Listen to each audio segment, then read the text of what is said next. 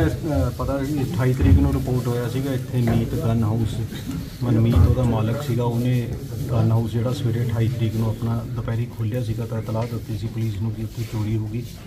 ਤਾਂ ਇਮੀਡੀਏਟਲੀ ਅਸੀਂ ਜਾ ਕੇ ਜਦੋਂ ਮੌਕਾ ਦੇਖਿਆ ਸੀਗਾ, ਤਾਂ ਕਾਫੀ ਦੇਰ ਤੋਂ ਇਹਨੇ ਬੰਦ ਰੱਖਿਆ ਹੋਇਆ ਸੀਗਾ, ਕਰੀਬ 2 ਸਾਲ ਤੋਂ ਔਰ ਗਾਇਬ ਖੋਲਦਾ ਸੀਗਾ 10-15 ਦਿਨਾਂ ਬਾਅਦ ਕਦੀ ਖੋਲ੍ਹ ਲਿਆ ਜਾਂ ਮਹੀਨੇ ਬਾਅਦ ਖੋਲ੍ਹ ਲਿਆ ਤਾਂ ਉਸ ਤੋਂ ਕਾਰਵਾਈ ਸ਼ੁਰੂ ਕੀਤੀ, ਫਿਰ ਜੁਆਇੰਟ ਜਿਹੜਾ ਆਪਰੇਸ਼ਨ ਹੋਇਆ ਸਾਡਾ ਈਜੀਟੀਐਫ ਦੇ ਨਾਲ, ਉਹਨਾਂ ਕੋਲ ਕੁਝ ਲੀਡਸ ਸੀਗੀਆਂ।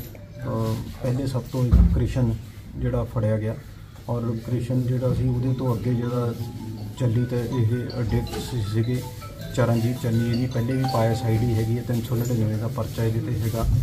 ਇਹ ਇਹਦੇ ਦੋ ਬ੍ਰਦਰ ਨਾਲ ਇਨਵੋਲਵ ਸੀਗੇ। ਇਹਨਾਂ ਨੇ ਇਹ ਦੋ, ਤਿੰਨ ਵਾਰੀ ਚ ਇੱਥੋਂ ਆ ਕੇ ਸਮਾਨ ਕੱਢਿਆ। ਕਰੀਬ ਜੋ ਇਹਨਾਂ ਨੇ ਦੱਸਿਆ ਔਰ ਸਾਰਾ ਸਮਾਨ ਇਹ ਇਹਨਾਂ ਨੇ ਆਪਣਾ ਰੋਈ ਦੇ ਕੰਢੇ ਕਿਤੇ ਲਗੋ ਕੇ ਰੱਖਿਆ ਹੋਇਆ ਸੀਗਾ। ਜੋ ਅੱਜ ਇਹ ਚਰਨਜੀਤ ਵੀ ਅਰੈਸਟ ਕਰ ਲਿਆ।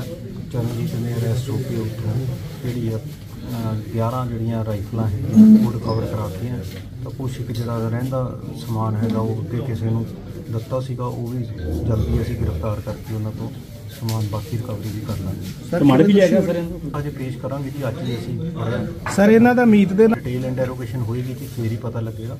ਬਟ ਹਜੇ ਤੱਕ ਤਾਂ ਅਸੀਂ ਜਿਹੜੀ ਇਹ ਪਹਿਲੇ ਰਿਕਵਰੀ ਦਾ ਸੀਗਾ ਮੇਨ ਕੀ ਕਿਸੇ ਮਾੜੇ ਅਨਸਰਾਂ ਦੇ ਹੱਥ ਪੈਣਗੇ ਵੈਪਨ ਵੈਪਨ ਰਿਕਵਰ ਸਿਕਿਉਰ ਕਰਨੇ ਜ਼ਰੂਰੀ ਸੀ। ਪਰ ਜਿਹਦੇ ਚੋਂ ਕਰੀਬ 16 ਜਿਹੜੀਆਂ ਰਾਈਫਲਾਂ ਸੀ ਉਹਦੇ 15 ਸ਼ਾਇਦ ਰਾਈਫਲਾਂ ਸੀਗੀਆਂ 15 ਚੋਂ 11 ਕਾਊਂਟ ਫਾਰ ਹੋ ਗਈਆਂ। ਪੰਜ ਜਿਹੜੇ ਛੋਟੇ ਵੈਪਨ ਸੀਗੇ ਰਿਵਾਲਵਰ ਉਹਦੇ ਚੋਂ ਵੀ ਇਹਨਾਂ- ਜਲਦੀ ਰਿਕਵਰ ਇਹਨਾਂ ਦੇ ਵਿੱਚੋਂ ਕੁਛ ਇੱਕ ਵੈਪਨ ਜਿਹੜੇ ਆ ਅੱਗੇ ਦਿੱਤੇ ਵੀ ਆ ਕਿਸੇ ਨੂੰ ਪੈਸੇ ਵਾਸਤੇ ਤਾਂ ਉਹ ਵੀ ਬੰਦੇ ਆ ਜਾਣਗੇ ਜੀ ਉਹ ਵੀ ਅਸੀਂ ਅਹ, ਕਰ ਰਹੇ ਹਾਂ ਉਹ ਵੀ ਰਾਉਂਡ ਅਪ ਹੋ ਜਾਣਗੇ ਐਂਡ ਉਹ ਵੀ ਰਿਕਵਰੀ ਹੋ ਜਾਏਗੀ। ਮੇਨ ਮਕਸਦ ਇਹਨਾਂ ਦਾ ਸਿਰਫ ਉਹ ਆਪਣੀ ਨਸ਼ੇ ਦੀ ਪੂਰਤੀ ਜਾਂ ਆਪਣੇ ਦੀ ਪੈਸੇ ਕੱਟ Sir, background- ਦੀ ਪਾਏ ਸਾਈਡ ਹੀ ਹੈਗੀ ਜਿਹਦੇ 'ਚ ਇੱਕ ਡਕੈਤੀ ਦਾ ਮਾਮਲਾ 399 ਦਾ ਦਰਜ ਹੈ ਸਰ